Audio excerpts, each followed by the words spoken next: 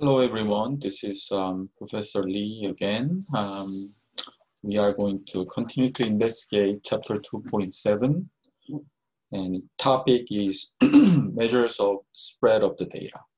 Sometimes they call this um, measures of variation, right? Measures of variation. And, you know, basically what we are trying to do in this chapter is that we're trying to come up with a number that describe the spreadness of the data set, right? Spreadness of the data set. So in our previous um, chapter, 7 point, I mean 2.7 part A, we talked about range, right? Range was simply highest value minus the lowest value. But we also checked out the problems with those range because range wouldn't really capture the what happens in the middle of those data set, right? it's just high value and low value, that's not really accurate enough. So we also learned uh, two different measures. One is variance. Another one was standard deviation.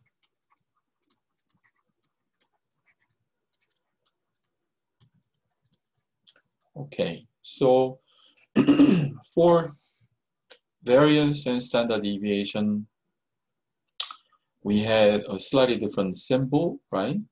For sample, we use S square. For standard deviation, for sample standard deviation, we use S. And for population,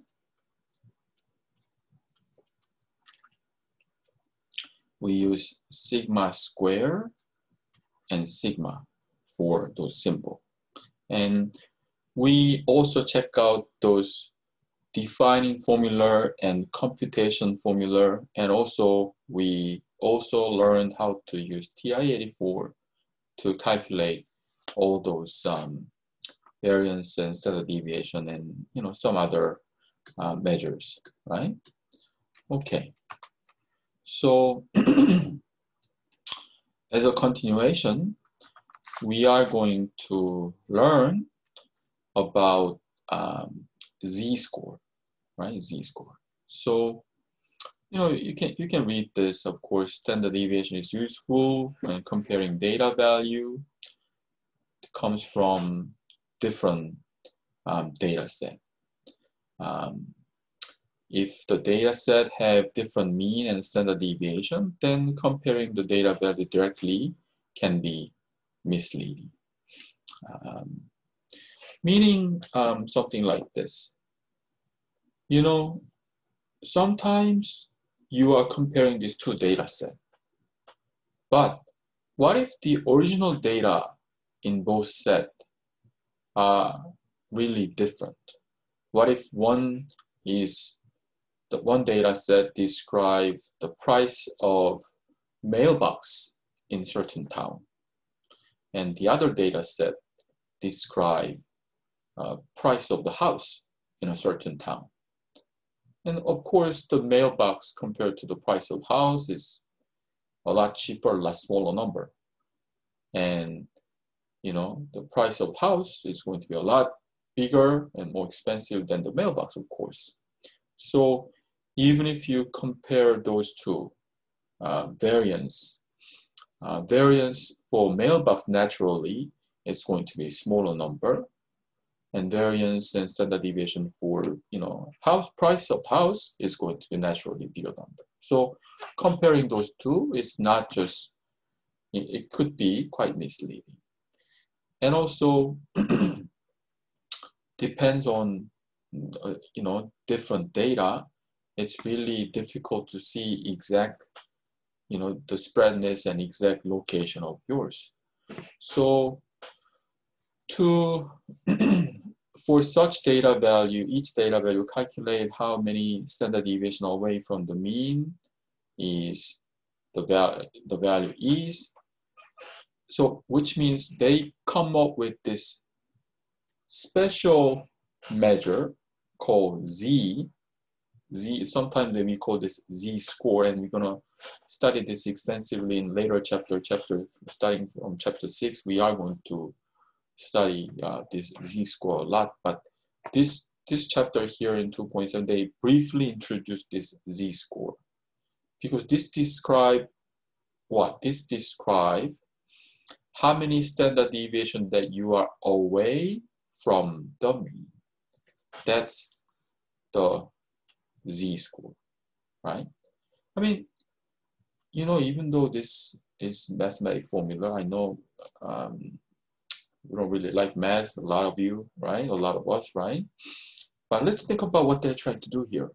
Now, this is data point.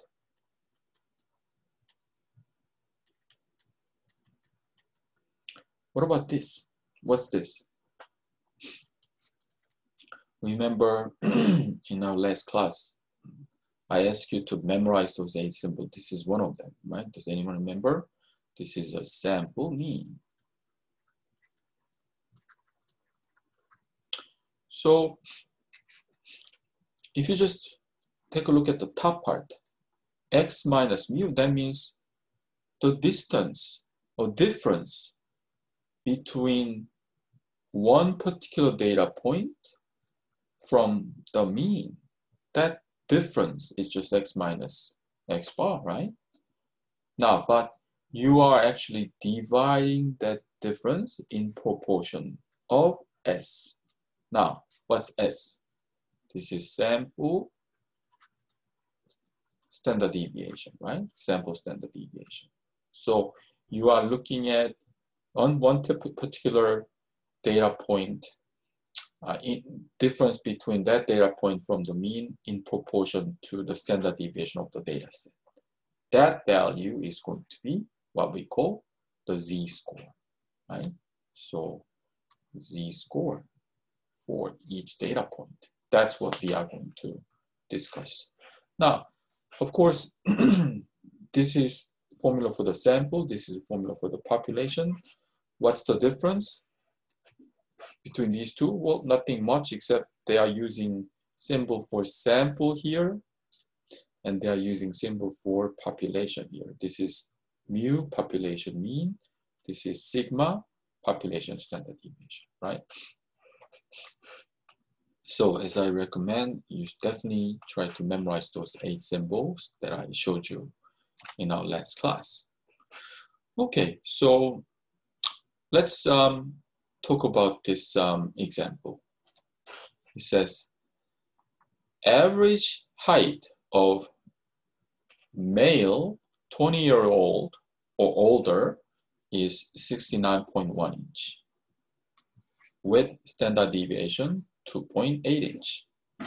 You know, this is, I don't think this is a actual accurate result. This is just a hypothetical number, you know, for this particular question, right? So average number for female, in this case, so 10 year old or older, is 63.7 inch with the standard deviation um, 2.7 inch, right? Okay. So based on this information, um, who is relatively taller, right? Kevin height is 83, For Candace height is 76. Now, Kevin is quite tall, seven, I mean 83, when the average is 69.1 for male. Candace was also very tall when um, average is 63.7, her height is 76. But, you know, within their own, the same sex, same gender, um, who's taller? Is it Kevin taller or is Candace taller? And how do we figure that one out? Well, we are going to convert this point and this point to the z-score and we can compare the z-score, right? Remember the formula, right? Z-score formula right here. I mean, because sample and population it's basically same formula um, and I guess these number average number I guess we assume that this is for entire population. So we are going to use that population formula which is x minus mu over sigma right? So this is Kevin's height and this is male average, right? So this is x, this is mu. And what about this? This is the sigma, the standard deviation value. And that's for Kevin. And for Candace, this is her height, also x, right? And this is the female average. And this is the standard deviation. So if you type it up in the calculator, then you get these two. They are both very, very tall. Indeed, this is like super unusually tall, right? But getting these, comparing these two numbers, this is higher, this is bigger number. That means relative to their own gender, Kevin is actually taller than Candace because of the z-score. Right? He got the bigger z-score. And that's how we compare with the z-score. Right? Okay. All right, let's talk about this um, next um, example. Two students, John and Ali, from different high school, um, wanted to find who had higher GPA when they compare to their own own school, right? So John and Ellie, they are from different high school. John's GPA was 3.85 and school average, school mean, that means school average was 3.0 and school standard deviation is 0.7. Ellie's um, GPA, that I don't think they are 4.0 um, full point. They, I think they have different scheme.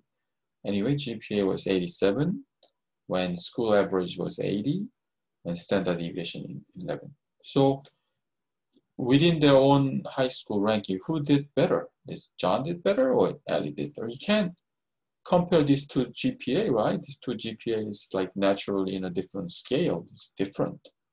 So you need to, in a way, rationalize this and make it a standard score.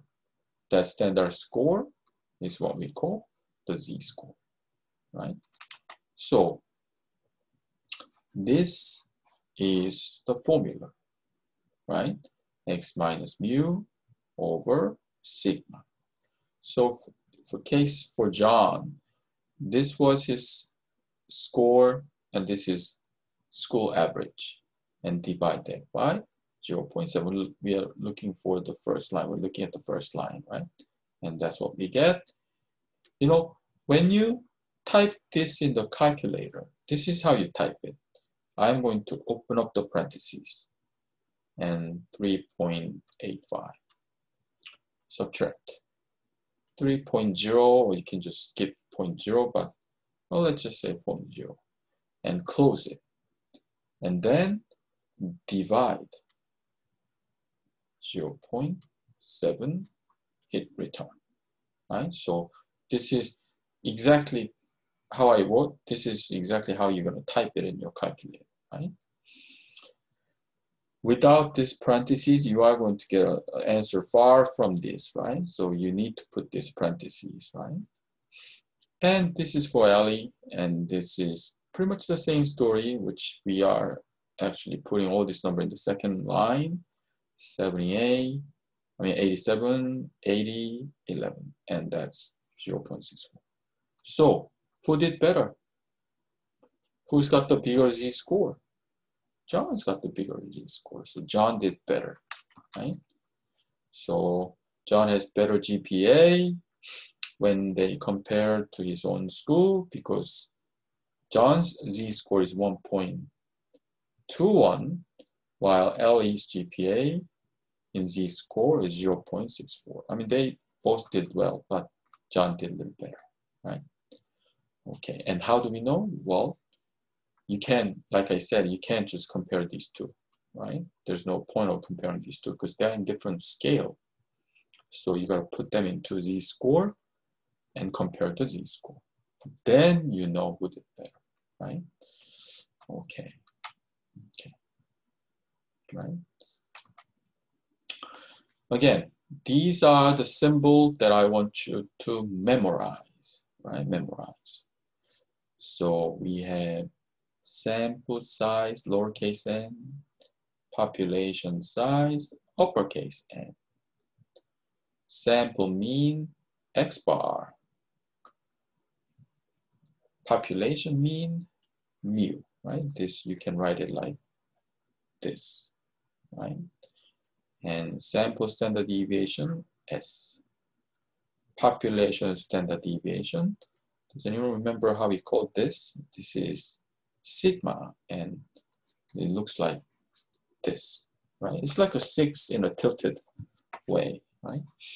And variance, of course, just put the square, and same for population, sigma square, just like that.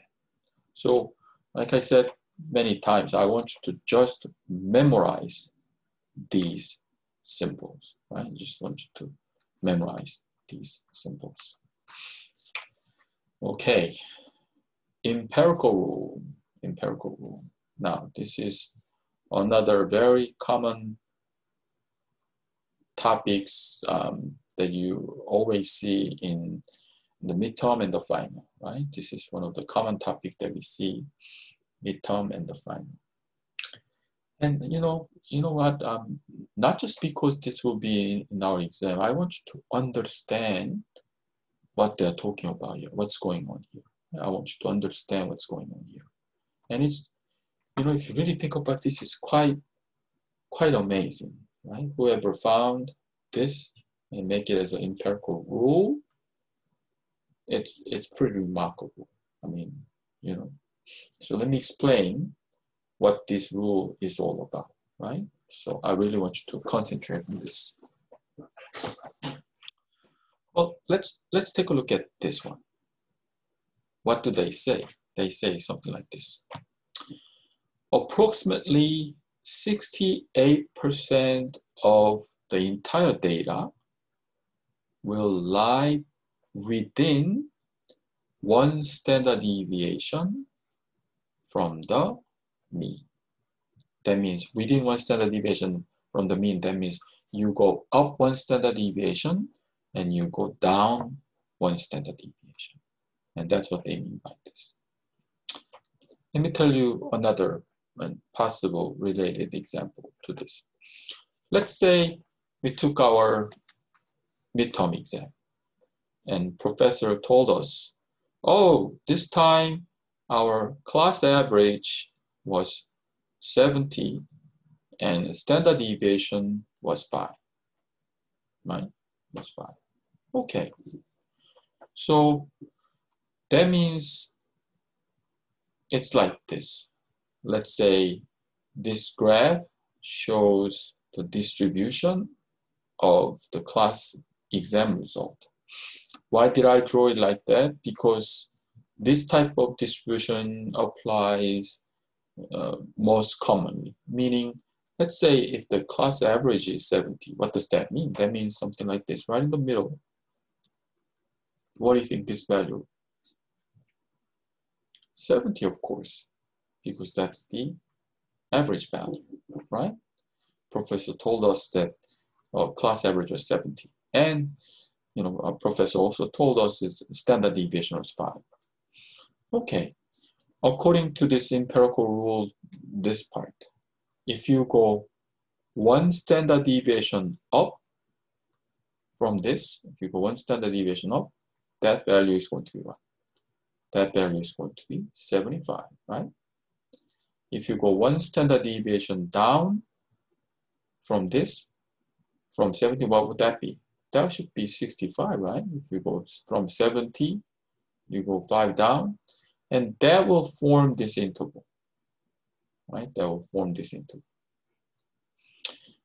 According to this empirical rule, how many percent of student got their exam score anywhere between, in this case, 65 to 75? How many percent? Well, you guessed it right, 68%. So 68% of uh, our class scored their midterm exam anywhere between 65 to 75. Now, how do you know it's you know about it's about 68%? How do you know it's not like you know 40% or 30%? Anything. How do you know? Who said this is 68%? Well, I didn't say that. Who said this? Empirical rule said this. Empirical rule said rule says if I know my average of the data, if I know the standard deviation, I can figure out all these different proportion. Look at the second part. They say about 95% lie within two standard deviation away. So the mu minus two times the standard deviation and mu plus two times the standard deviation. So in our example, if I go one standard, if I go one more standard deviation, what do you think this value is going to be when standard deviation is 5? Of course, this is 80 right? If you go from 65, you got, if I go one more down, one, one standard deviation down, that should be 60 then. So between 60 and 80,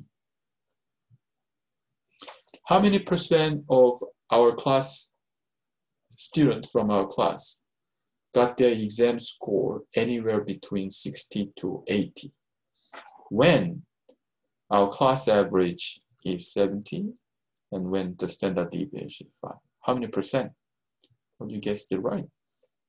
95%. And how do you know?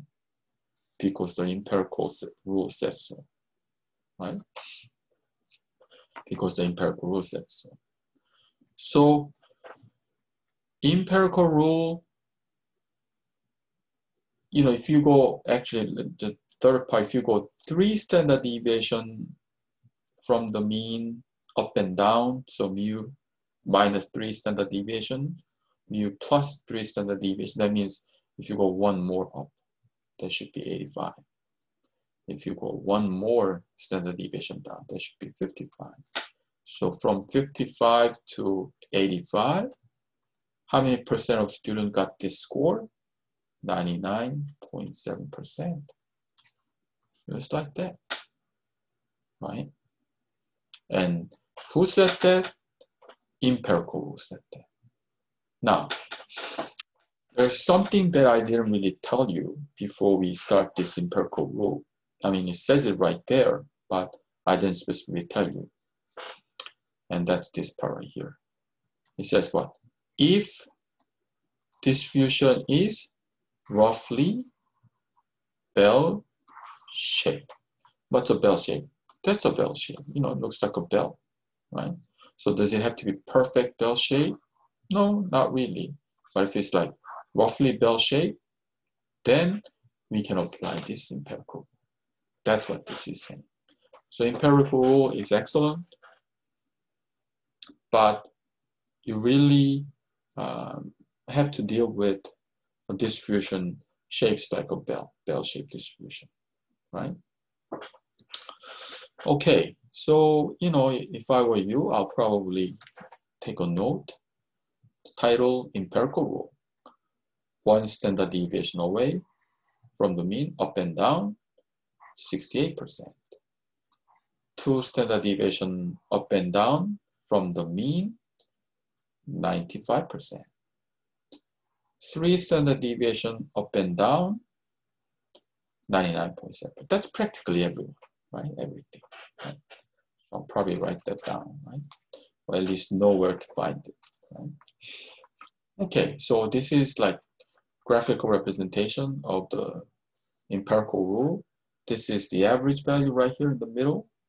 if you go one standard deviation up, one standard deviation down, it'll form this interval, which will cover 68% within one standard deviation. If you go one more, go one more, up and down, that's a 95% and two standard deviation. If you even go one more up and down, so that's a three standard deviation away, and that is 99.7%, practically everything. Yeah, practically everything. So, you know, I'll definitely mark this page, right? Because it's nice, it nicely describe the empirical rule, right?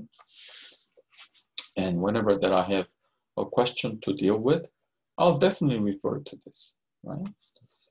All right. this is um empirical rule example. This is an example of empirical rule.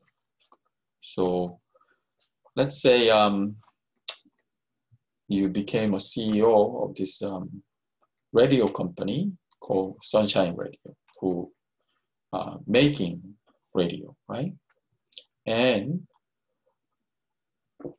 the lifespan, the playing lifespan of your product is normally distributed. Now, what does that mean? What does that what does that mean to be normally normally distributed means is bell shape like this graph right here. Right? And your lifespan of your radio is average 600 hours. Mu 600 with the standard deviation 100 hours, right? 100 hours. Okay. So what is the percentage of all radio that will last anywhere from 600 to 700? You know, remember the empirical rule? They're saying this is 600 right here and that's a 700 because why? Because what was the standard deviation? Standard deviation was 100 what was the mean? Mean was 600 from 600 you go one standard deviation up. So in this graph it's definitely this interval right here how many percent 34 why because both one up and down covers 68 half of the exact half of that is 34. So that must be 34% right there, right? And who said that? Empirical rule said that, right? According to the empirical rule, one standard deviation up and down, 68. So this is just one standard deviation up from the mean right? Mean 600, go up 100. So that's going to be 34%. Now let me ask you one more question. You know, if this much, this blue area is 34, what do you think is this area? 70 700 and up. How much is this going to be? right? Anyone. Knowing that exact half, exact half from here is going to be 50% here and 50% there. So from 50%, from here to here is 34. So that area right here must be 50 minus 34, which is um, 16, 16 percent like that. So that area right here must be 16%. Okay. Then let me ask you another question. If you say uh, in your warranty pro warranty program for your product, if you say, oh, if it breaks down before 700 hours, I am going to give you full money back. If you say, um, before, if you break down before 700, then full money back.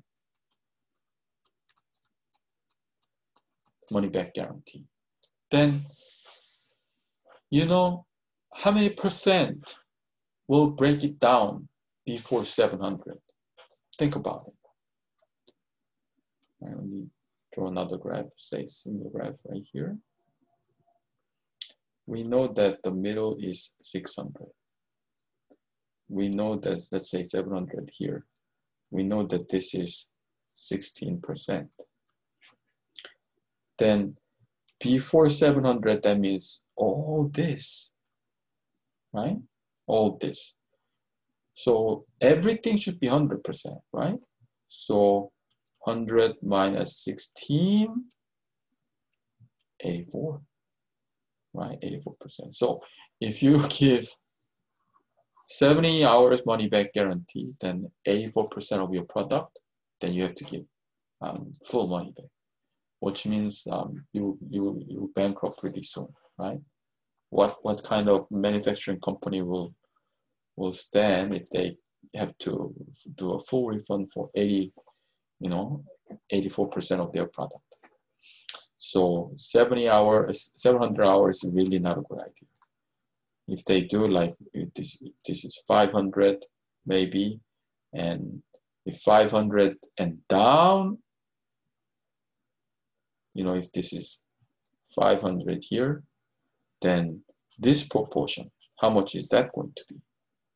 Well, that's another 16% right there because you know that this is going to be 34%, right? Me go back to this, right?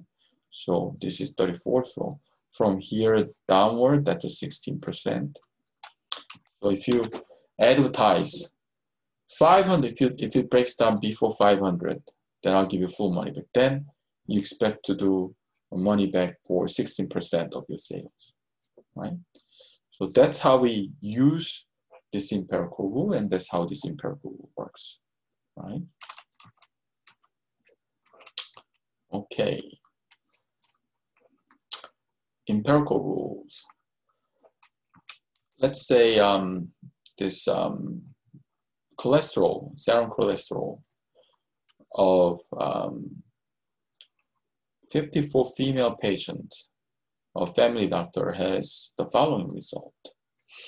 Um, average the cholesterol was 60 and standard deviation was 5 right so determine the percentage of all patients would have serum HDL within two standard deviation of the mean according to the empirical rule.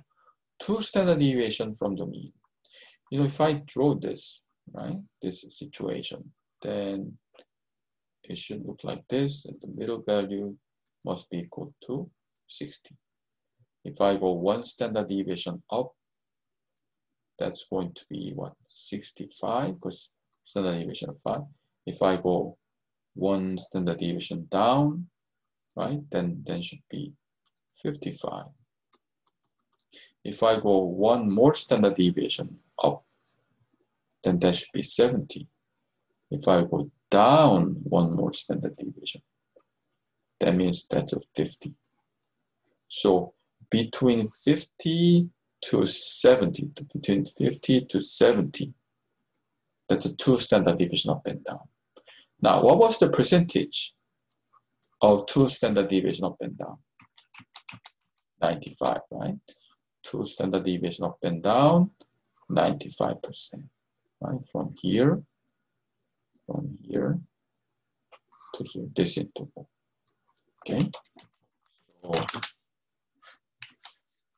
I mean, they, they have a, I mean, this is a paragraph, right? From 60, go one standard deviation up and down, two standard deviation up and down, from 50 to 700, that's a 95%. Now, look at this question here determine the percentage of all patients that have serum um, HDL between 55 to 70. So from 55 to 70 is 55 to, oh no, no, no, it's not, not this. From 55 to 70, this, right, this one. So, you know, let me go back to the, the graph, given graph.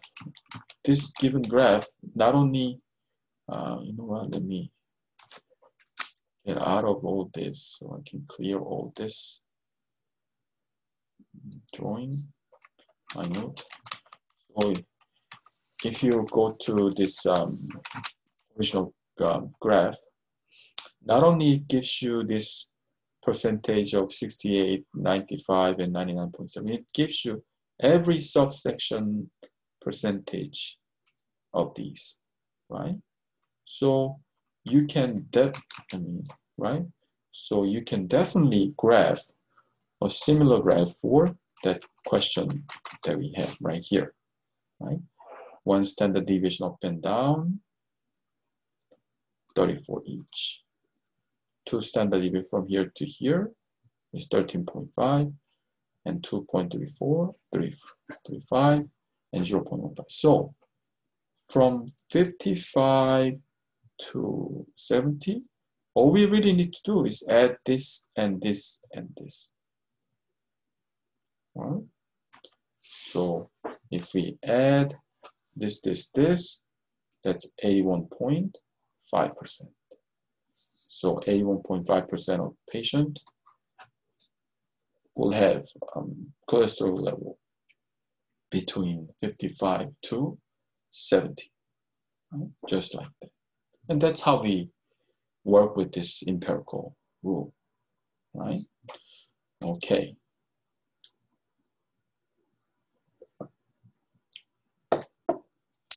So that's the wrap for this lecture, right? That's the end of this lecture. Okay,